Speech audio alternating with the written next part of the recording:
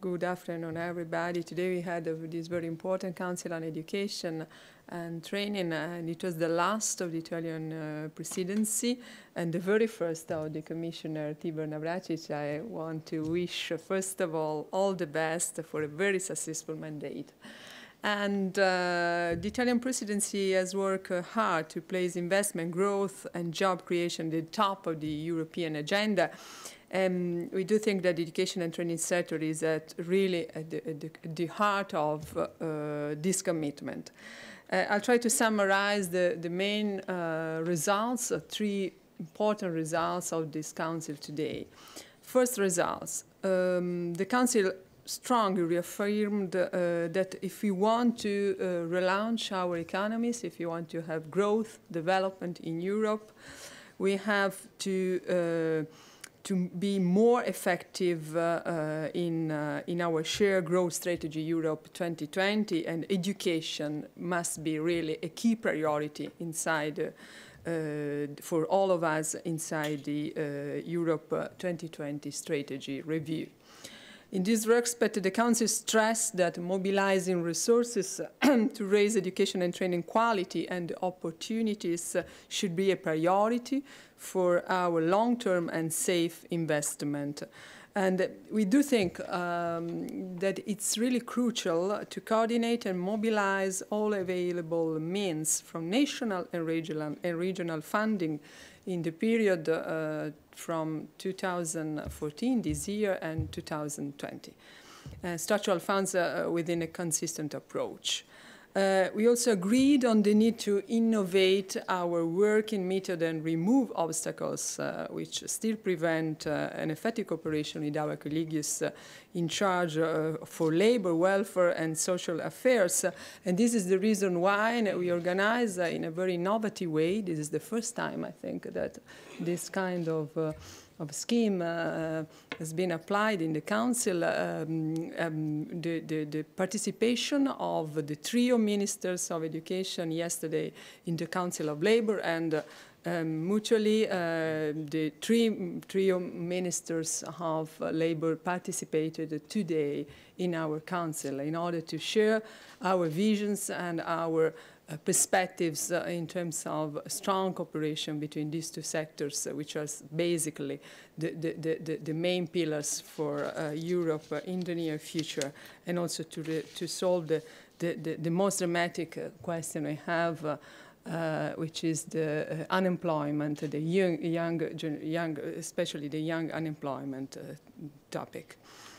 This is the first result. The second result is uh, the, the conclusions on entrepreneurship in education and training. We approved today this document. It's a very, very important topic because we are, uh, all of us are aware that Europe must uh, create new opportunities to support education and training institutions in their effort to promote entrepreneurship. Entrepreneurship is not simply a question of uh, the education process, it's also a question of uh, culture, uh, men mentality, it's, it's, a cultural change. So we, we are very committed to, to bring in our countries uh, this very, very important uh, objective, and we are sure that uh, it will be another uh, important driver for job creation and development. The third results, I want to mention new, more, new and more job opportunities can also come by improving mobility. You know, mobility is one of the key words we mentioned last week for researchers, and we mentioned uh, more than this today for education for students, uh, and uh, mo mobility programs participation is one of the, the objective, I think, also of the uh, commissioner agenda in the near future. This is the reason why, as Italian presidency, we strongly believe that this is the most appropriate moment, the right time, to consider how mobility can become a structural part of the education and training of more young students uh, in Europe, and not just for a lucky few, uh, which is uh, still a very, very uh, small percentage uh, in a, in a, on a total amount of uh, the student universities and in Europe.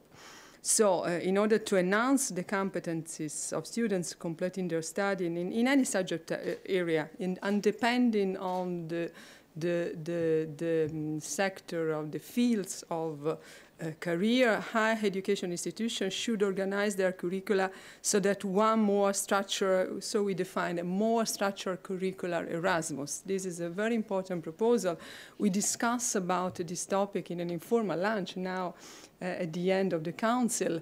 And uh, I want to uh, underline, I want to emphasize a very nice proposal which emerged from the most part of our colleagues, and we all of us agree about this proposal, which is uh, to uh, arrive in, in um, in the, in the, in the next uh, presidency by Latvia to a general uh, declaration which could be signed by the, uh, the uh, ministers of education and this declaration should contain a strong message to our countries, uh, to our universities, in order to encourage, to improve, to better finance a quality program, uh, quality mobility programs, because quality is another very important asset that we have to, to consider in our, in our work. So um, this is the, the summary of our very intensive day of working together. And I'm the pleasure to give the floor to the Commissioner Tibor Navracsics for his uh, presentation. Thank you so much. And I, of course, I'm available for any, any question you have uh, at the end of the press conference. Thank you very much. And good afternoon, everybody. Uh, well, this is uh, really a special day for me, just as Stefania mentioned, because it's my very first Education Council meeting, and in the afternoon there will be the, the very first Youth Council uh, meeting. So I have to prove my ability uh, in representing the Commission uh, in uh, in two councils at the same day. But but there is a strong um, interaction between the two um, between the two council meetings because youth employability and education's role in, in Europe's economic future and, and economic growth are the key, uh, key notes and key notions for, uh, for today's uh, discussions. And um, uh, just as uh, Stefania mentioned, that there was, during the working lunch, there was a spontaneous initiative coming from the, um, from the member state uh, education ministers to endorse and help the Erasmus Plus uh, by a political declaration. I think it is a, a, very good idea and a very strong push for, for our uh, project Erasmus Plus, which is probably the, one of the most successful projects of the European integration so far. So today I, um, uh, I was pleased that the Council endorsed the conclusions uh, which emphasize the importance of a coordinated policy approach to entrepreneurship education.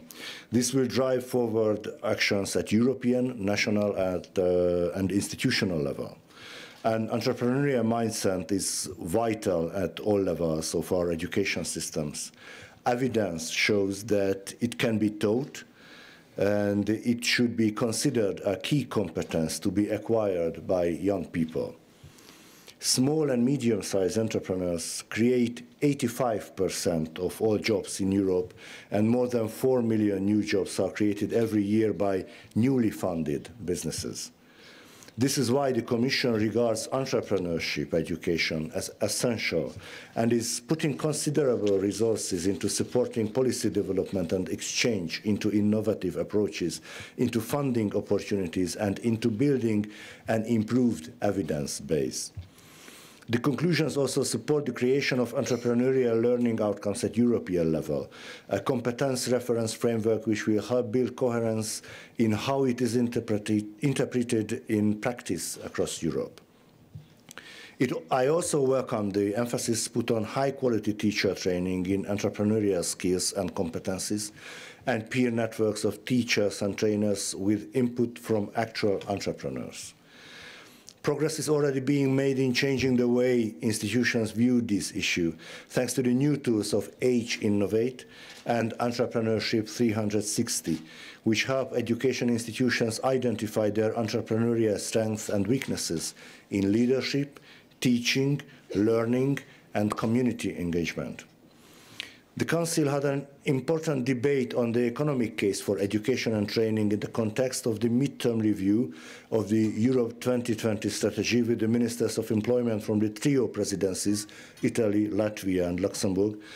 And, uh, uh, and in the absence, in the painful absence of uh, Madame uh, Thyssen, who, um, who uh, attended the funeral ceremony of, uh, of the Mother Queen in, of Belgium.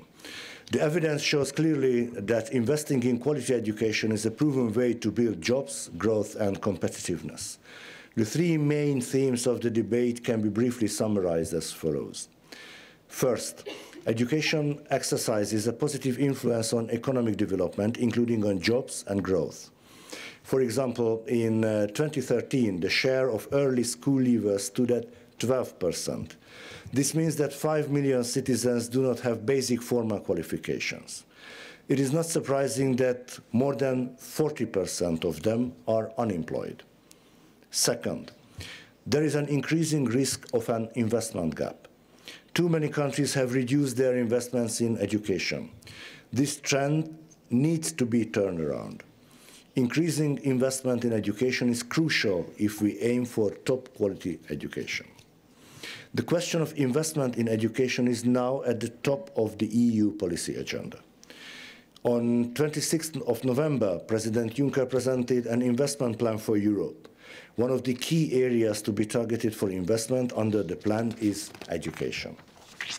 Within the Commission, I'm already working with Vice President Katainen to deliver on the education aspects of the new investment plan. Third, we should pursue more analytical work on what works well in education. We should exchange experience and learn from each other how efficiency can be improved. The more we improve the efficiency of our systems, the more we strengthen our case for the economic value of education and for increased investment in it. The background to the discussion this morning is the review of the Europe 2020 strategy. The strong economic argument merely underlines the point that education should continue to be a cornerstone of the EU strategy for jobs and growth. The visible expression of this is the headline target that should be maintained. We will come back to these questions in 2015 when we discuss future working priorities under ET 2020. Later today, education ministers took part in a lunch debate focusing on how to promote learning mobility in higher education and how studying or training abroad can add real value to a student's learning, ex learning experiences. With member states committed to having 20% of their graduates studying training abroad by 2020, the need to create more structured mobility opportunities within higher education programs is key. We can achieve. This is making greater use of embedded mobility with fixed mobility windows in degree programs, for example. Although Erasmus Plus encourages institutions to test innovative arrangements for organizing study and training abroad and for jointly designing courses for, with partner universities, member states authorities need to create the basic framework conditions for successful mobility. They might consider using targeted funding for institutions, ensuring that financial support systems are compatible with mobility, and where possible, providing additional grant schemes using national and perhaps structural fund resources. And undoubtedly, there is a unequivocal political support for, for the development of the Erasmus Plus and giving them a solid financial background in the future. Thank you very much.